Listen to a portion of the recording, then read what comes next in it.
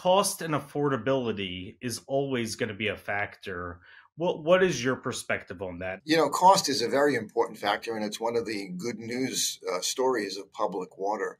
We are very, very affordable here at North Penn Water Authority. Um, our average fee is five dollars and fifty-one cents for a thousand gallons of water.